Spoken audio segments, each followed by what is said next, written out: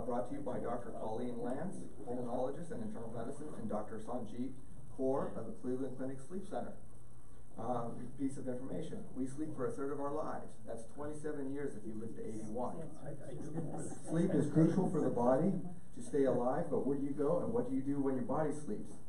After all, you don't ex- stop existing when you're asleep. I prefer the hundred acre wood. Hope that's the case. In that case, Dr. Colleen. Good morning. Um, Morning. there's a few points that I'm gonna discuss for a few moments. Can everyone hear me? Okay. Someone said, uh, I will try to project. So just to let you know a little bit about myself, I live here in Shaker, although I was in Texas for twenty-eight years and practiced there. This time of year is hard. So, but my children are both in the Shaker schools. I have one right next door at the middle school and one at the high school. Dr. Kaur also lives here in Shaker, so this is our community. This is the room I always vote in, so thank you so much for including us. So, ever since the year started with the number two, I've practiced nothing but sleep medicine. Prior to that, I had an internal medicine practice, and then I went back and did a sleep medicine fellowship. So for me, it's something I'm passionate about, and that is completely what I practice on a daily basis. Mm-hmm. Some people find this information shocking. If you look at what our expected sleep need is, newborns, toddlers, the young, that's not shocking at all. They sleep a lot. We expect them to sleep a lot. Now, teenagers, and there have been some really interesting studies done at sleep camps that Dr. Carskadon has in um, California. And she did all the original research on teenagers to find out what their sleep need is. And in order for a teen to function properly, the average sleep need is nine and a quarter hours. Now, how many teenagers are actually getting that? None. Exactly, with the pressures put on them from school, extracurricular activities. Um, they're even expected to get up and do cl- classes prior to school starting now. It's amazing, they call it zero period. So there's all this pressure, and then being able to develop friendships and all, they tend to be up late, and very few of them really get enough sleep. So what about us in our age group? So the typical need ranges from about seven to nine hours a night. Now there's some people that fall outside of that. There is no magic number where someone has to say, I have to get this. You know, everyone's a little bit different and it can be very individual. A lot depends on how much sleep does it take for you to feel good and be functional during the day and maintain your relationships and your activities during the day.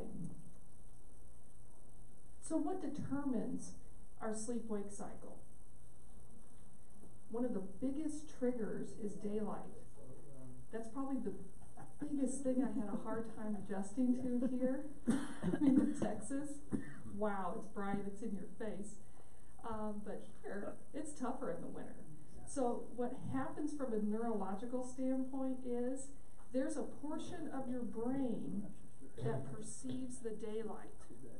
And then when the daylight goes away, it releases a trigger to the brain to release melatonin.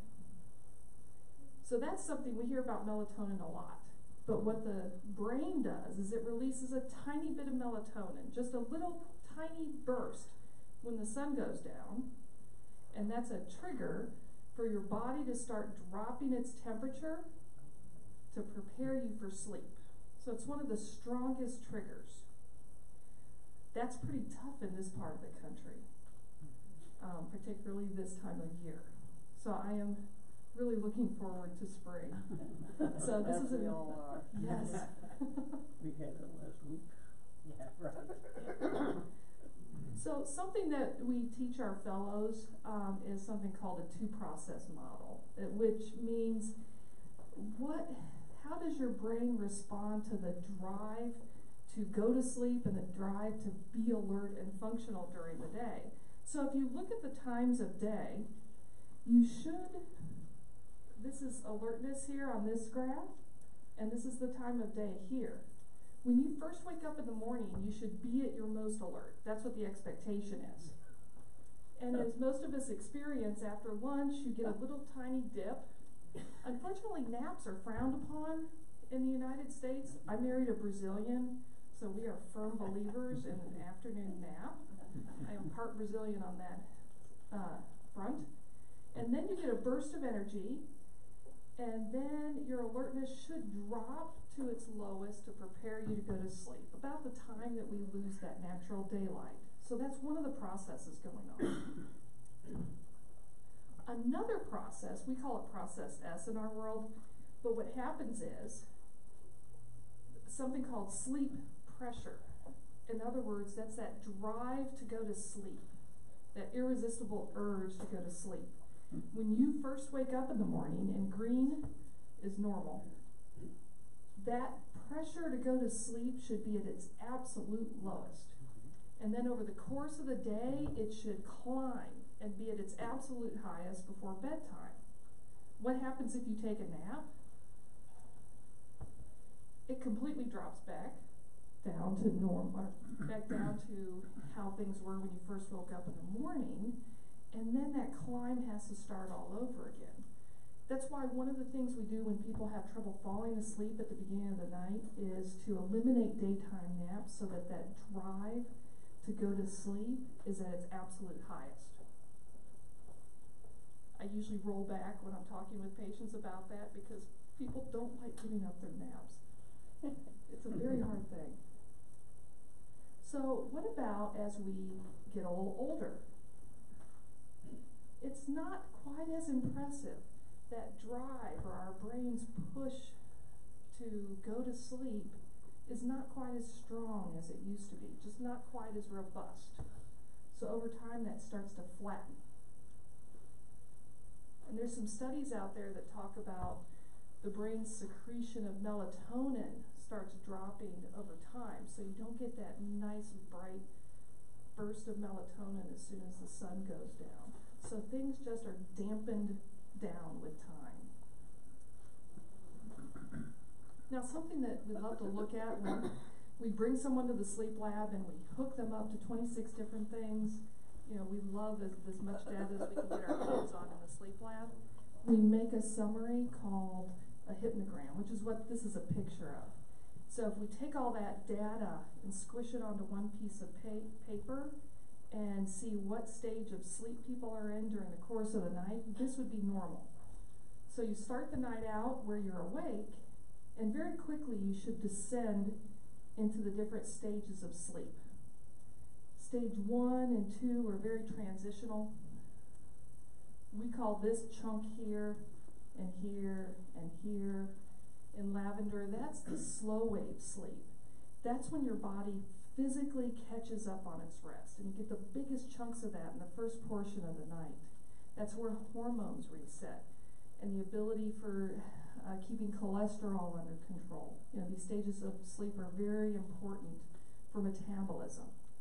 There's a lot of work looking at obesity and what happens during slow wave sleep. And then, about every 90 minutes, you should get a little burst of dream or rapid eye movement sleep. And you should get more and more of that throughout the course of the night. Now, REM sleep or dream sleep, that's when your brain catches up on its rest. And this is what um, gives you the ability to have good memory, mood, and concentration. I hear some chuckling across the room. Now, one of the reasons that um, women present very differently from men when it comes to certain sleep disorders has to do a lot with REM sleep.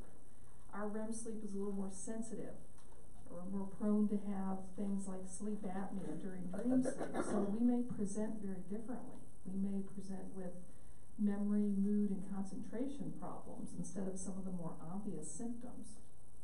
So if you have interruption or disruption or not enough of any of these stages of sleep, you're going to be affected during the daytime. So if you have interruptions with this, what we call slow wave sleep, you're going to be physically exhausted during the day and very sleepy. If you have disruption or you've cut your night's sleep, like here we've got eight hours. Say you sleep five or six hours, you've missed the last big chunks of REM or rapid eye movement sleep. It's not uncommon for people to come in saying, I just can't concentrate during the day, my memory is poor. Um, I'll get referrals from neurologists who see people for dementia or early memory issues. And one of the things we look at is, is their REM sleep interrupted for some reason? Is it maybe not getting enough of it because you've cut your overnight sleep short? So being generous with your overnight sleep is important for these reasons. Now, this is uh, a picture where the top portion is like what we saw in the previous slide. But what happens as we get older? It takes a, it takes a little bit longer to fall asleep. As you're descending into the different stages of sleep, it's a little more disrupted, especially during the first portion of that night.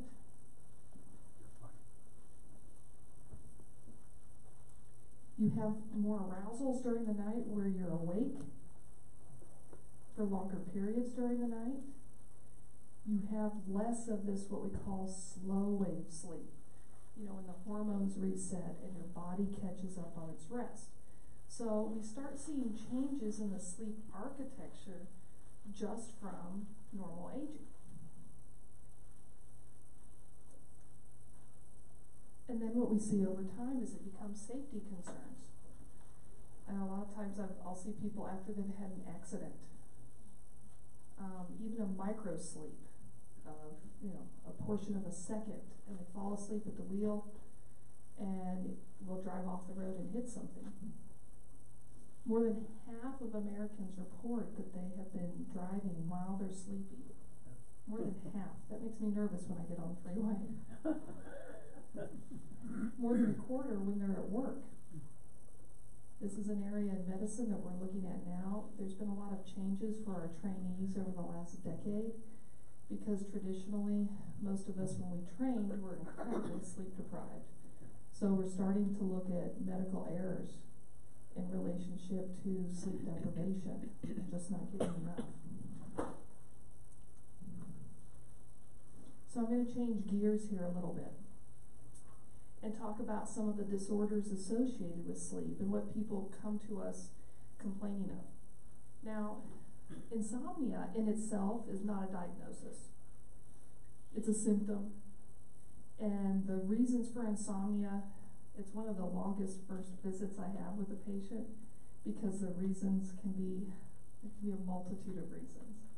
And very rarely, and I like to picture it as a pie, very rarely is there just one piece of pie mixed in with someone's insomnia. It's usually several pieces, and we've got to tease it out over time. So most Americans have said that they've had insomnia at some point in time, and 10 to 15 percent have it chronically or more than six months in length.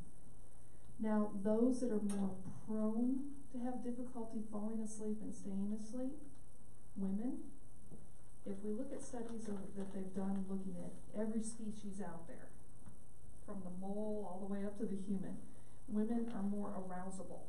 I think it has to do with caring for the young.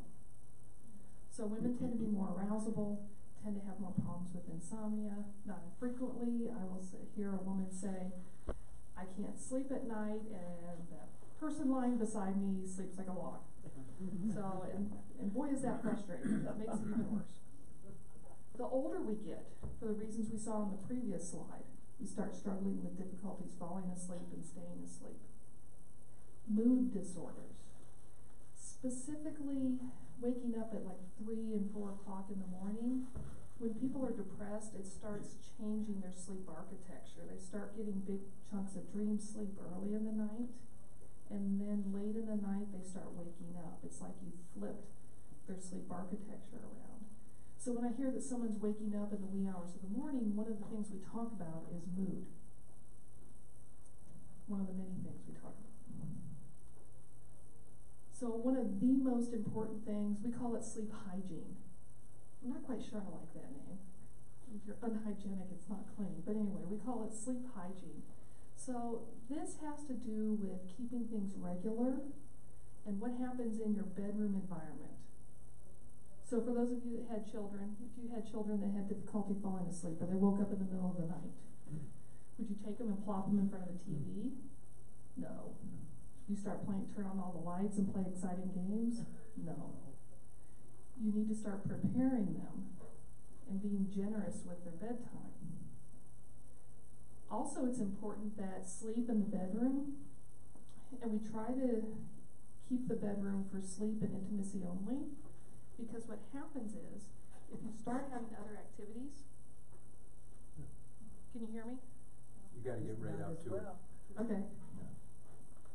If you start having other activities in bed in the bedroom, your brain starts confusing what you're supposed to be doing during that time. So we try to keep it as sleep and intimacy only. You know, a lot of people will have their computers, their checkbooks, their phones, they have all sorts of things going on in the bedroom environment, eating, we try to clean that up.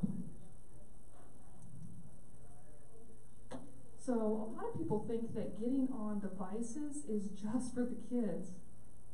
I think one of my favorite stories was a man who totally busted his wife uh, because her complaint was insomnia. And he's like, I can tell you why. She's over there under the covers scrolling through pictures of the grandkids.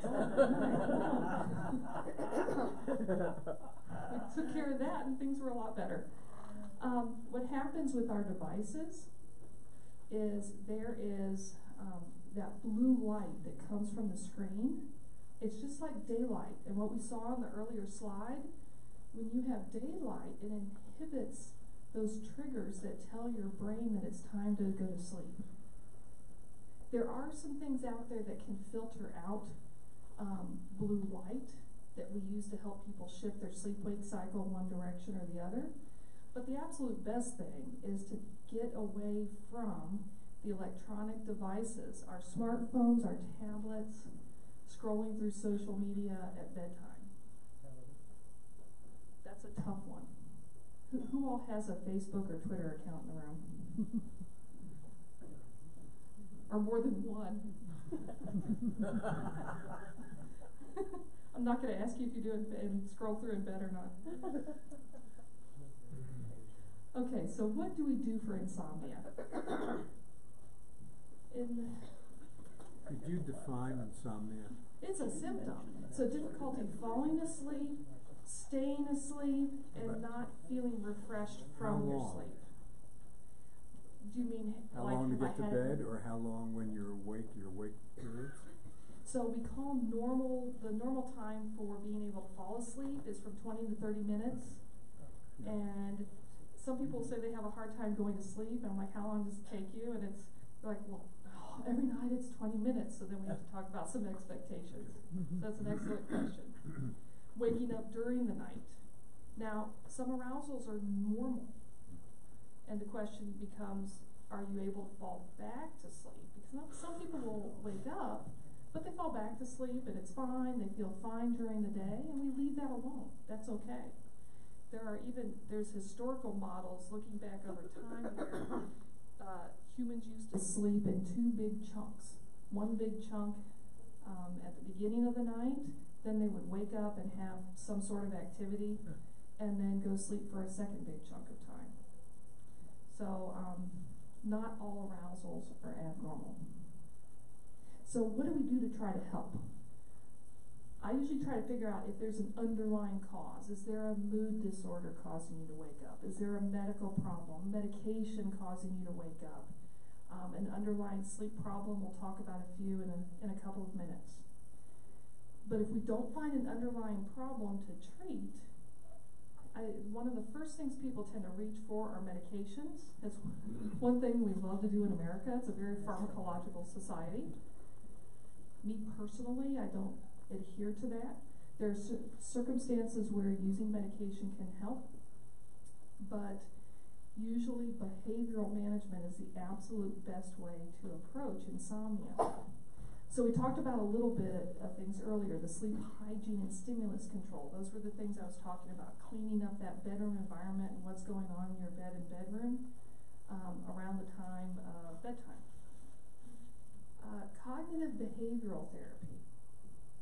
That has been proven over and over again to be the absolute best, most successful, and most long-lasting way to treat cognitive, uh, to treat insomnia. So people ask, what is it? And there's very few people in the country that actually can do this form of therapy. It's usually done by a psychologist who's trained specifically in this therapy, and I like to describe it as your brain is a computer, and we need to redo the software. Something wrong has happened with the software, so we've got to reprogram you so that you can go to sleep at night. Um, we happen to have two people who do this at the Cleveland Clinic. I was so happy when I moved here, uh, and was able to work with them, because it's the first time I've been in a place that had, I mean, had at least one, but two, who could do cognitive behavioral therapy for insomnia. And if we use this in conjunction with a short-acting hypnotic or sleeping pill for a short period of time, that is the absolute most successful way of approaching insomnia. The reason I have the picture off to the side is for our patients who have trouble getting in to see someone for cognitive behavioral therapy for insomnia, we have an online platform, and it's called Go to Sleep. So for those of you that do like to get on the devices, and as long as you're not looking at it while you're in bed at night, um, this is a good way of, it helps track your sleep, works on sleep hygiene and what we call stimulus control. You get a little score each day. So it's like walking through things with the psychologist to help you fall asleep and stay asleep longer. We're going to talk about just a few of the most common sleep disorders that we run into. So, is it who's heard of restless leg syndrome before? About a decade ago, I would ask that question, and there might have been one or two people in the room. So we're starting to get the word out there about restless legs. So lots of ways of describing it, but it's an urgency to move where you just can't stay still. And there's what we call a circadian rhythm to it, where there's certain times of day where you're more prone to have this feeling. It doesn't have to be just your legs. I would rather call it restless body. I've seen people who can't keep their head still, their hands still, not not just those that have to move their hands when they talk. Um, but there's also an asleep version of it where you get in bed, you have difficulty calming down, staying um, immobile. And once you fall asleep, there can be a rhythmical kicking and twitching of the legs. And it can be enough to wake you up during the night and keep you awake. So this can be a cause of insomnia, both difficulty falling asleep and staying asleep. So we see this associated with several underlying medical problems because there's certain things that are just very irritating to nerve endings. If you have diabetes and your sugar's out of control, nerve endings hate sugar. Um, if your iron levels are low, and people that have restless legs, we really push their iron levels higher than we would even for someone who's anemic. Because there's something called dopamine that you need to make, and that creates a little filter that sits between the nerve and muscle, and it filters out all the incoming noise and keeps things quiet so you can go to sleep. And you need a lot of iron to make dopamine. One of the first things I go over when someone has restless legs is ingestives. And I'm not saying that these are things that you get rid of forever, but the things that can drive your legs nuts caffeine, alcohol, nicotine, and if you have someone who's eating tons of chocolate in the evening. so I'm not necessarily saying that you have to give those things up forever, well, with the exception of nicotine. Nicotine, it's very hard to treat restless legs if there's nicotine on board. So we really try to get people off nicotine for that as well as other reasons. Um, but for a while, we try to get rid of the alcohol, the chocolate, get the sugars under control, and sometimes that alone is enough to quiet things down. There are medications that work like dopamine that sit between that little nerve ending and muscle ending um, to quiet things down. So there are medications to help. But I'm a minimal, minimalist on pills. Oh no, she's going to talk about apnea. Like, why does everyone keep talking about sleep apnea? Because it's so important. It touches just about every single medical problem out there. And we used to think it was just a disorder of people that were really heavy. But that's not the case. You can be pencil thin and have significant sleep apnea. It's a problem of the upper airway where the airway collapses. And what happens is, every time that airway collapses, your body's going to do anything it can to stop that from happening. So you're not going to get into the deep restful stages of sleep. Your dream sleep's going to be interrupted. Memory, mood, concentration problems. Every time that airway closes, you get a spike in blood pressure, a drop in oxygen level. The natural pacemakers of the heart start firing like crazy.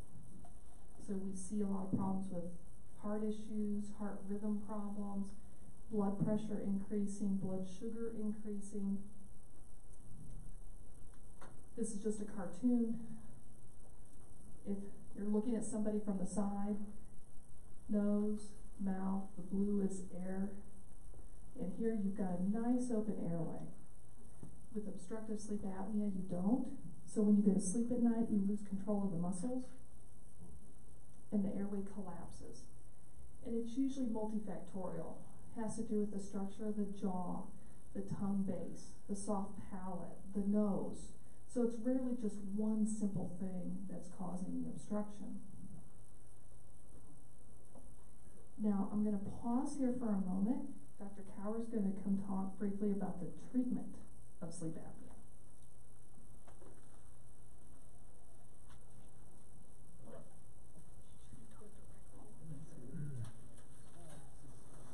Thank you, Dr. Lance. And thank you everyone for having me here. I'm Sanjeet Kaur. I did my internal medicine residency and currently doing sleep medicine fellowship here at Cleveland Clinic.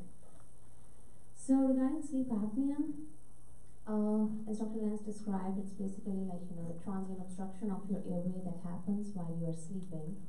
Uh, your body has protective mechanisms to deal with it. Uh, so that's why it's not that, you know, people people are like, you know, oh, I, is it like obstructing? I'm like dying right there. No, but your body has protective mechanisms. Your brain wakes up and kind of recruits your muscles back in, and then your airways open, and then you breathe fine again. So, but that happens like recurrently. So your brain is never able to get into that restful deep stages of sleep, and then you see the adverse effects next morning. So you're like, you know, my patients tell me, oh, I spent eight hours in bed, but still when I wake up in the morning, I'm tired. I feel, I don't feel refreshed in the morning. That's because your brain was working extra hard at night. It was kind of having those micro arousals multiple times every hour to make sure that your airway is open. So the gold standard treatment for sleep apnea is the PAP therapy. Uh, so it's positive airway pressure therapy. So what it basically does is that it gives air under pressure. That's it. The CPAP machines or the bilevel PAP machines, BiPAPs that you hear about, they provide air under pressure. So your upper airway is a soft tube. So if you fill it with air, it kind of splint opens your airway. So now your airway is going to stay open and you sleep fine because those obstructions are not going to happen because it's a soft tube and you have splinted open with air. So what it causes is it, you know, it eventually leads to like a restful sleep and majority of my patients, like they come and tell me that, okay, now I sleep so much better and I wake up refreshed in the morning because now you are going into those deep stages of sleep and uh, you really wake up refreshed. Um, these are like the short-term benefits of it, like you know that your daytime sleepiness and fatigue is a lot improved, and uh, you are a lot more refreshed. You are able to carry out your daily activities uh, in a much better fashion. And what is the what is the long-term effect?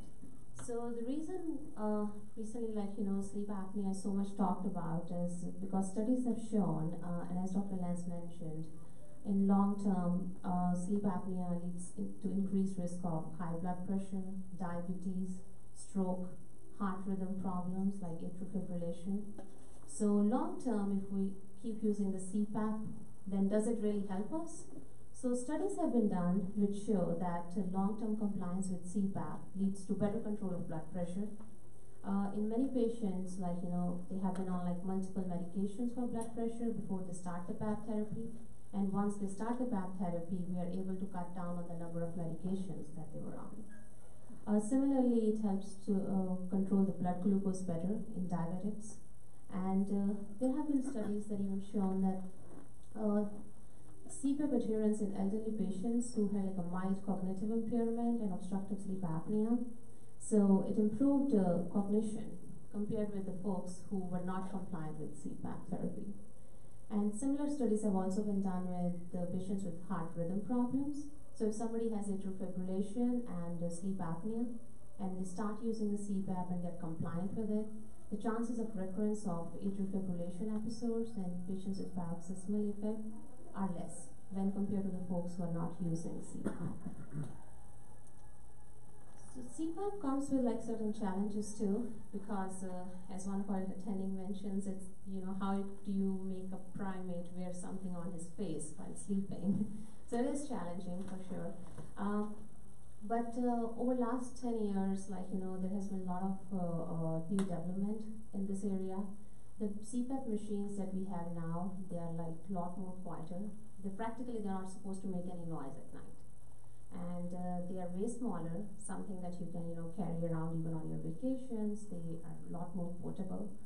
Uh, at the same time, we have different kind of mask options. So it's not that, you know, I don't like this mask and we are kind of limited with that. So uh, we do offer uh, at clinic what we call PAP nap therapy. Uh, this is something where uh, we bring you in during daytime and uh, our uh, experienced technician spends an hour with you where uh, we help you adjust with the mask just to see you know what challenges you're facing and what mask will work the best for you and help you with that. So this is the gold standard and that's why we really recommend it. And then it is like something that is, if you think about it, it is non-invasive in a certain way.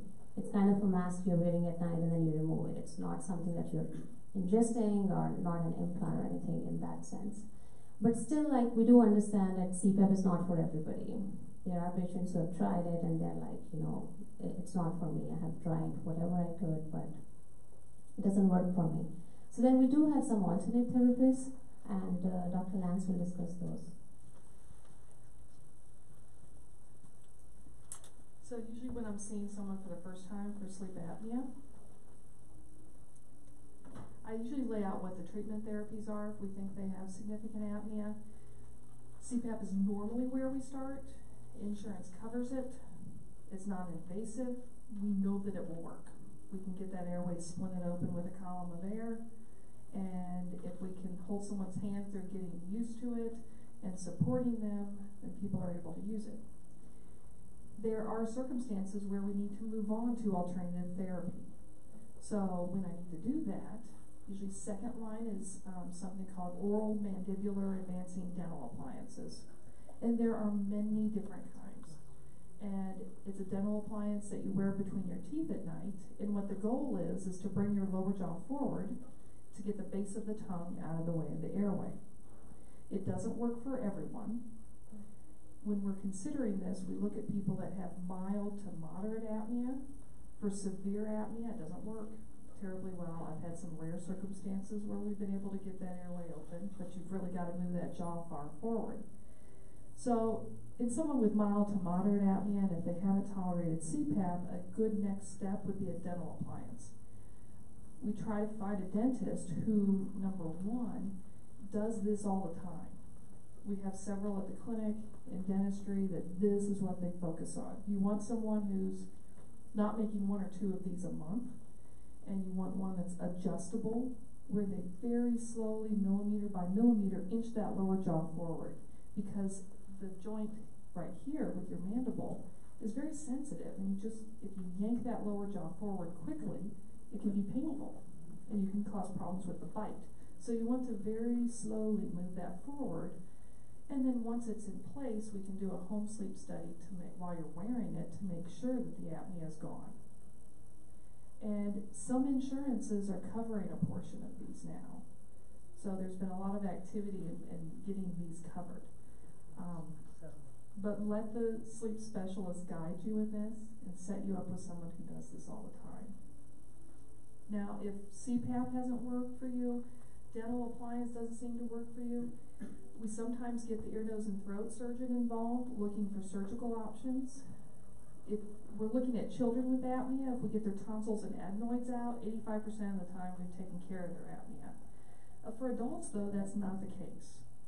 So if we're considering surgery, we set you up with an ear, nose, and throat doctor who this is their area of focus. And there's a special scope that they can do while you're sleeping to see how your airway closes.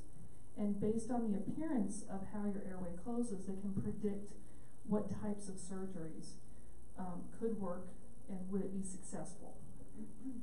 Lastly, has anyone heard about Inspire?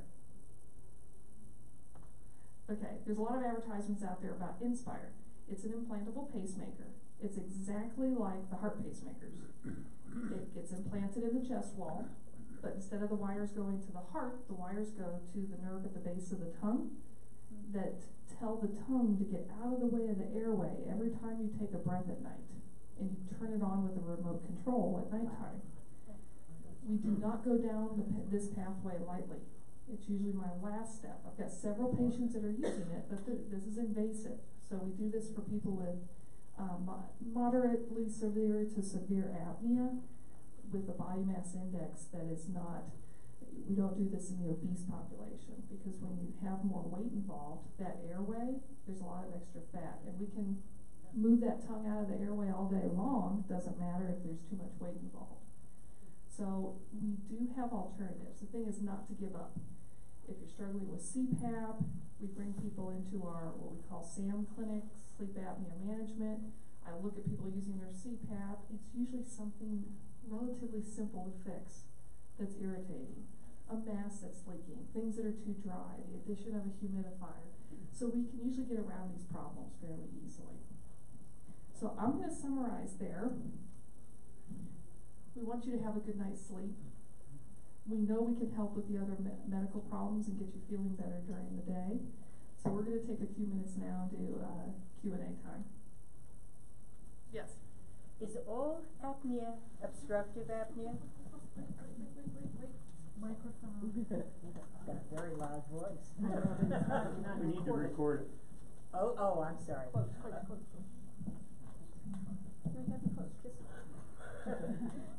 Is all at This angle, straight out. this way, yes? Well, act like Donnie and Marie. Uh, is all apnea obstructive apnea? No. Uh, there's another kind of apnea called central apnea. I'm sorry, say that again? Central apnea. Central, yeah. okay. And then there can be mixed, where, where the patient have both obstructive and central components. So primarily in obstructive apnea, as we mentioned, that there is obstruction in the airway at some location. Uh, but in central apnea, the drive to breathe uh, that comes from that signal that comes from the brain that is missing. So basically, that signal is missing, so there is no effort, uh, you know, no chest wall or abdominal effort at all to breathe transiently for a brief period of time. So what would positional sleep apnea be? Because that's what I was diagnosed with years ago. So positional is, uh, so you had a sleep study I in the did, lab? I did. Okay. So when you have a sleep study, uh, one of the sensors, we actually record your position and uh, the hypnogram that Dr. Lance earlier showed, kind of, you know, the synopsis of all the information we get from the sleep study. It also gives us information that when you were having those apnea events, were you on your back or on your side? Uh, we see it's very common that those events are more when you're on your back. So Only when I was on. yeah, so in your case, if it was only when you're on your back, but none when you're on your side, then you are you are what's called positional apnea. So in these cases, we you know if it is doable, we recommend positional therapy that do not sleep on your back. You know, and th- that that is easier said than done.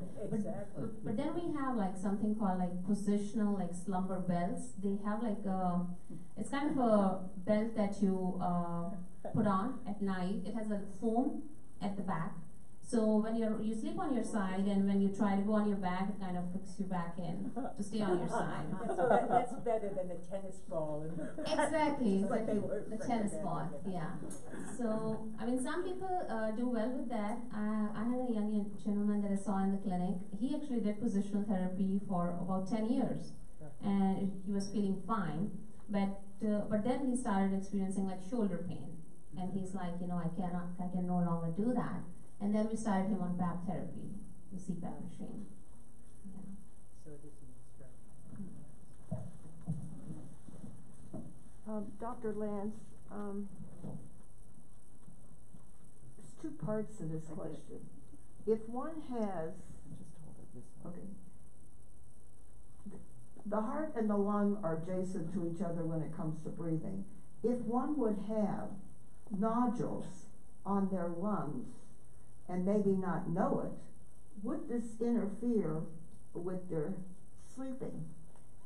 The second question, because I couldn't understand some of the things you said, um, maybe you can answer this. If you, second part of my question, if you have an irregular heartbeat,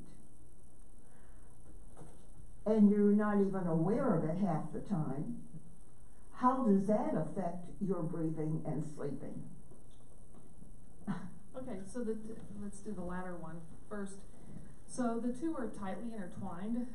So, uh, and if you are having obstruction or closure of your airway, every time that airway closes, you actually get a pull on the left side of your heart, a spike in um, blood pressure, your oxygen level drops, and then the um, natural pacemakers that you have scattered throughout your heart just start firing like crazy. So the two are tightly intertwined. So if there's anything causing obstruction, we try to remove it. But how So- do you know? So How does one usually- know? Well, for peop- if there's any symptoms of apnea, usually if there's snoring or you stop breathing at night, um, sleepy during the day, then we look at, um, doing a sleep study to find out. And our, Okay. yes. Now, when you get fatigue during the day, how do you know if it's lack of sleep or it could be a heart problem, which is, uh, fatigue is, is a major heart problem, it's a heart symptom. So- So how does one know the difference if they get sleepy some days in the afternoon, if it's their heart, or something else? How do you know? That's why we work uh, closely with our uh, physicians, our internists and cardiologists. So most of our patients come from internal medicine and cardiology. So they've already had everything else looked at and now they're down to looking at sleep. So we work in conjunction with their other doctors because they're tightly intertwined. the one thing you didn't mention that most women I know that I've talked to are up two, three times a night, have an overactive bladder. So how does that, when you get up, and, uh, how does that affect, uh, your sleep, even though you can go back to sleep right away and with no problem? But the fact that it's interrupted two or three times a night. Well, and if the, your internal medicine doctor or, and or urologist hasn't found something that causes you to wake up to urinate, sleep apnea itself can cause you to wake up and urinate, where every time the airway closes, there's a gland in your brain that secretes a hormone that tells your kidneys to make more urine. So treating the apnea can, um, help with waking up to urinate at night.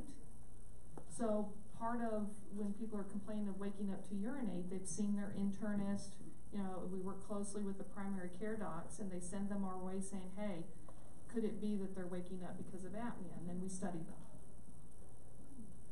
Thank you. You're welcome. Thank you for your presentation. When, uh, uh, John Boehner, Ohio's own John Boehner was Speaker of the House, I never believed a thing he said. Yeah. But now that he's a spokesman for medical marijuana, he said, uh, that, uh, marijuana will help you to go to sleep at night and, uh, is sometimes an effective remedy for sleep disorders. Should I believe him this time? The current position at the Cleveland Clinic is that we will not comment on, uh, medical marijuana. The current position on, uh, at the Cleveland Clinic in regards to medical marijuana is we're, we're not to comment on it. Yeah, and currently the So- American Academy of Sleep Medicine doesn't have a position on it. Sorry.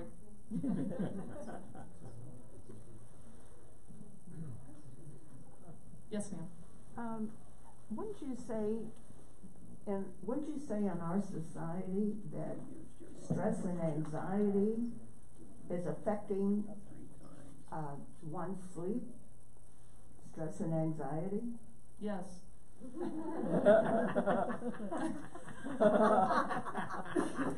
Of course it is, and that's part of what cognitive behavioral therapy, that's a big piece of it. And for people that have, um, anx- specific anxiety disorders, we sometimes have to get the psychiatrist and or psychologist involved to treat the underlying anxiety. But that, this is a big part of what cognitive behavioral therapy is. It's seeing what software your brain, um, uh, needs to be rewired, if you will, or rewritten. And part of it has to do with the anxiety. That's the longer answer. Thank you. What about alcohol before sleep? Say, uh, wine with dinner or having beer while you're watching the game, but it's kind of late in the afternoon. Does that affect, um, ability to go to sleep or stay asleep? Uh, yes, it can.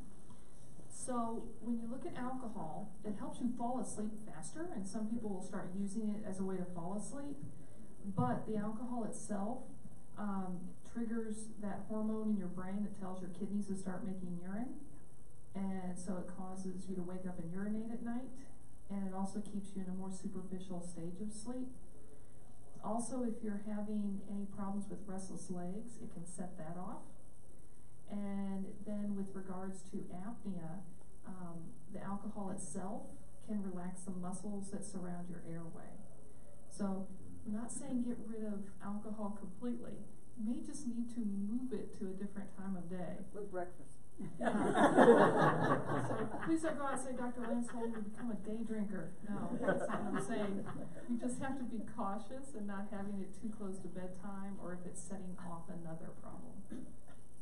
Well, as I understand it, the brain, you know, alcohol is a brain exciter. It's initially a depressant, but then an exciter at that four-hour mark. So that person has that hot time before bed. Will sleep for four hours, but then they'll wake up when the excitation cycle starts Yes. now. That's a much more elegant way of putting it.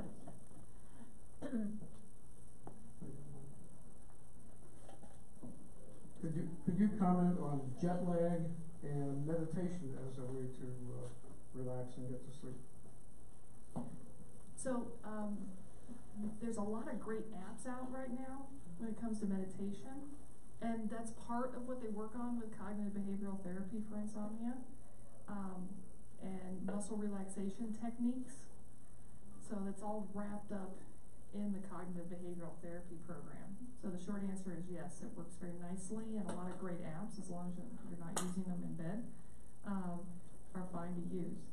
And then you mentioned jet lag, specifically, Well, uh, uh, techniques to, uh, mitigate the effects, uh, ways to mitigate the effects of, uh, jet lag going either east or going west, either way.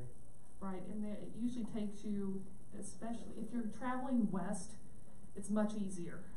Traveling east is where it's difficult, and especially if you go from here to Europe, and for each time zone, it takes you a day per time zone to readjust your sleep-wake cycle. Um, there are apps and places online where you can plug in where you're going, where you're starting, where you're going, and it can tell you when to expose yourself to light and when to take melatonin to help blunt the effects of jet lag. So there's, if you look at the National Sleep Foundation, and even if you just put in Google, uh, jet lag schedules, I think for a while TWA even had it on their website where you could put in your travel plans and it, and it would give you advice on how to deal with the jet lag. I just have a question about architecture of sleep. Um, it's, I you made that one comment about how in, in ancient times people slept and had story time in the middle of the night and then, then sleep again before waking up during the day. Um, it, it seems to me a lot of people, and I was a nurse practitioner in Women's Health, so I talked about sleep a lot, a lot of people have an unrealistic expectation of sleeping through the night. Like how many people actually really sleep through the night? You know, myself, I know I wake up usually around three. I have an alarm, a clock that I can have a uh, piece of a cloth over it, so I don't have to see it, but then I can just peek to see what time it is, and then go back to sleep because that's part of my natural sleep cycle. And don't many people have sleep cycles that are like that? That are normal, but then we worry about it, and then they medicalize something that's actually normal. Right, and that's why part, that's why, um, the first interview for insomnia is usually so long, is dealing with, uh, expectations. Because you can have several arousals during the night, but if you're falling back to sleep okay, and or your function during the daytime is fine, then it's not an issue. Or, let's see, my favorite one last week was, um,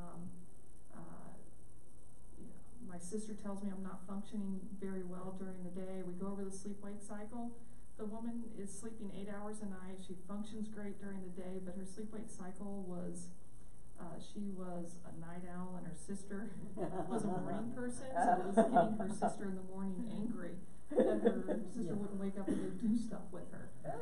So, at that I'm like, uh, all right, we need to have a chat with your sister. So, yes, a lot of times what they come in and complain of or think is a medical problem, in fact, is quite normal. Or like the expectation of that I will lay down and be asleep in five minutes and someone tells you it's twenty or thirty, well, that's completely normal. That's okay.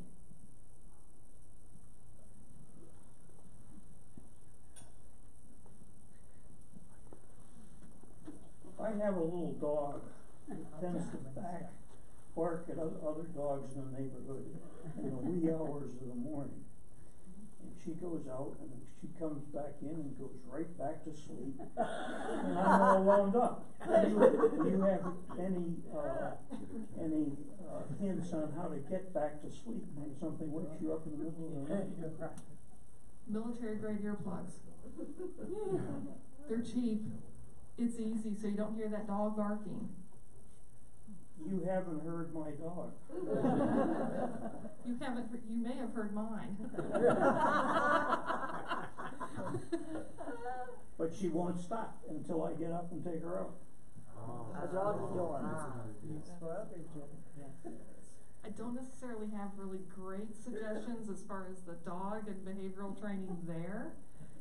However, um, I know some people will Hmm. choose to get up and do something for a while that's dull and boring, so that you don't get too excited. When you feel you're ready to go back to bed, go back to bed and finish out your, I- your sleep period. I try reading a boring book. Yeah, it's gotta be boring, it can't be stimulating. I noticed that when you talked about screens and electronics, you didn't say anything about TV. My TV is in the bedroom, and I often go to sleep with the TV on because that helps put me to sleep. Am I extraordinarily unusual in that, or is? Yes, you are. well, I'm unusual in many other ways too, but. I, I left that under the duh category. Yeah, the TV's it needs to be away from bedtime and out of the bedroom if at all possible. Um, I know in our household there are no TVs in any bedrooms. Um, the blue light that comes from the screen itself, it hits that portion of your brain, it's called the suprachiasmatic nucleus and sends triggers that it's time to be awake. So, and also behaviorally, it tells you that being in bed in the bedroom is a place to do other things. Um, it seems to be uh, that women tend to need something more noise-wise, especially if they live alone, uh, just because it's, part of it I think might be fear. Or- I mean, not, maybe not you in particular, but w- what I tend to see is, is women need something noise-wise going on around them Yeah, in order to because I can fall listen to asleep. the radio too. Right, Run the dishwasher. yeah, just something, almost like a background noise. Um, but if, if you can't get away from the TV, absolutely, at least put it on a timer. And there are even filters, there are settings on some of the newer TVs that filter out the blue light. And there are even, you know, really can't turn the devices off, there's even, um, ways, they look like big orange screens that filter out the blue light that you can put over your device. There's even a man and shaker that makes them. Over in the, above pizzazz. Yeah, it filters out the, yeah, you mean glasses? Glasses. Yeah, there's glasses that you, goggles you can wear to filter out the blue light. I just roll They're over. sexy. I don't watch. But before I decided. I was diagnosed with sleep anxiety when I was about thirty-three years old. I was very ill, and they couldn't find out what was going on, and my sleeping was terrible. I get anxious when I get into bed because I wouldn't go to sleep. And the doctor gave me lorazepam, and I took it for forty years. Took the same dose every night for forty years, and I would go right to sleep, and I'd sleep all night. I went to see a gerontologist, and she absolutely refuses to let me take it. So I have sleep issues, and I'm playing around with PM Tylenol and other things, and it seems to be working, but I don't know that that's a good answer to either. Can you explain why she asked you to stop, stop taking lorazepam? She felt, felt it would affect me mentally. Right, there's some, there's some evidence that using medications in that class long-term start changing your sleep architecture and, um, can worsen some underlying neurological problems and long-term memory issues. Um, and lorazepam was, i it's in that class of drugs like cousins of Valium and all, and they're used to treat anxiety. Right. Not really indicated, uh, for treating insomnia itself. Um, personally, I very rarely do I start medication and keep people on it for very long because the most successful thing is still cognitive behavioral therapy for insomnia with very short-term use of sleeping medication. What happens is, um, not as much with the newer medications, but some of our older ones that people reached for to treat insomnia and or anxiety have a physiologic addicting quality to it also. And then when you come off it, you have to very slowly come off of it.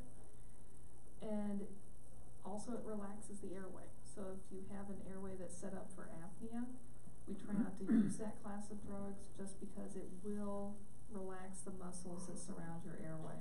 So the side effect profile of it, if you will, when you start weighing the uh, plus and minuses, and we've really steered away from using those medications. Personally, I try not to start sleeping pills if at all possible and really get cognitive behavioral therapy on board. And then if I have to, very short acting um, sleeping, specific sleeping pills. as long as we have time. Uh, one of your graphs of the, uh, uh, sunlight stimulation, what about people that live way north in areas where the land of the midnight sun? I was gonna say like here, oh sorry. Right. I moved from, I moved from Houston, so I Right, was gonna right, say just here. like Cleveland, yeah, I, I mean, what do they do? So I can tell you what I did. So um, I am very tightly entrained to sunlight. So sunlight is a big trigger for me. I'm awake when the sun is up. I gotta sleep when the sun goes down. So when I moved here a few years ago, I couldn't stay awake here in the winter. It was just, it was horrible. So um, we can use blue light. And for me, I use blue light in the evening during the winter to help me stay awake in the evenings. Otherwise, I'd be asleep at five or six o'clock. Um, so when I go home from work, I spend about thirty minutes in front of a blue light, or I have it in the room with me, and it helps keep my sleep-wake cycle somewhere sane, um, so I can function. Uh, but yes, the, we can artificially use blue light now. And even Philips has, um, you know, natural daylight light bulbs that help a lot with mood too.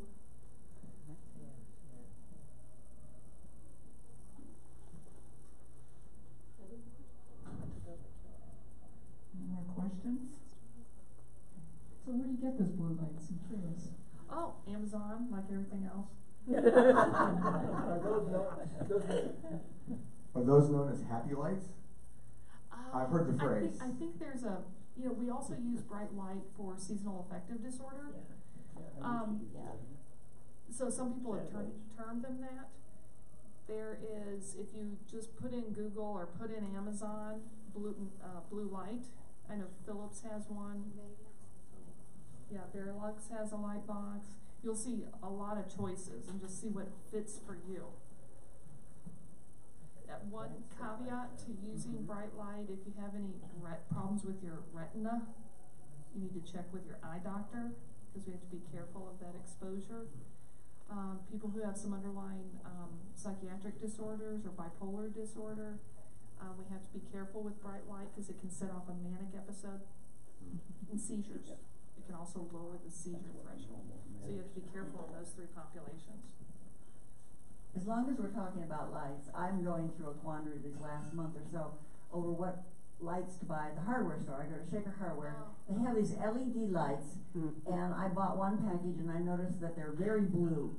And so I was talking to my eye doctor about it, and she was, I, I don't know if I understand what she was telling me, but I went back to the hardware store, and they have LED lights in basically what sort of a yellow hue and a blue hue. Which one is better? I'm not sure I can answer that. I just, I like the natural, I, I get confused in there too. And there's a website, I think called bulbs.com. I look at that. Yeah, um, I, I can't really answer your question. Okay. Uh, but, um, I know personally I look for the Philips natural light, cause I, just that, that dark yellow seems to be depressing. But that's just me.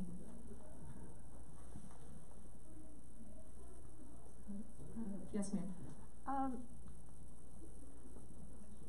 do women who are over, way over, Women who are way over a half a century, do they still get hormonal imbalances that can affect their sleep? Yes and amen. So, you know, we used to think that people would go through menopause and after a couple of years the effects would wear off, but there are some women who can, for more than a decade, still have hot flashes. Um, and it can be debilitating, so just when you think it's over. So, the short answer is yes, and it greatly affects their sleep, because for most of your life, your brain has been used to having estrogen and progesterone around. So there's estrogen and progesterone receptors all throughout your brain, and then all of a sudden the hormones are gone. And your brain is looking for those hormones. And part of what we see is insomnia. The hot flashes are the most obvious symptom of that. Um, and then if you have apnea, every time you have an apneic event, it sets off a hot flash. so the two can be intertwined. Yay. Um, so we used to use a lot of hormone therapy, but then that fell out of favor. We're starting to bring it back.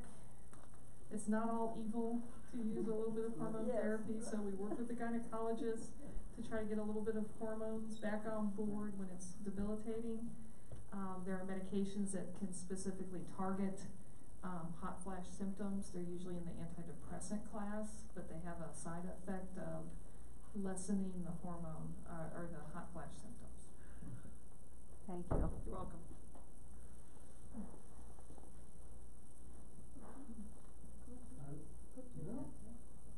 There's nothing, are we done? Thank you so much. You guys Thank are you. wonderful.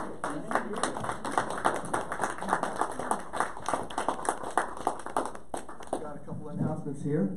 Uh, thank you, doctors Lance and Kaur, that, that was excellent.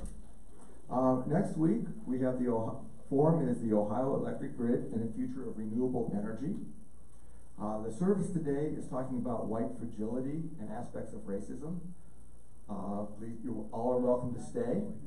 And then post service, we will be having a discussion on the book called White, White Fragility and Aspects of Racism, and you are welcome to stay for that as well. Thank you. Thank you. Uh, Thanks. What a wonderful group. So can tell everybody that you're advocating champagne?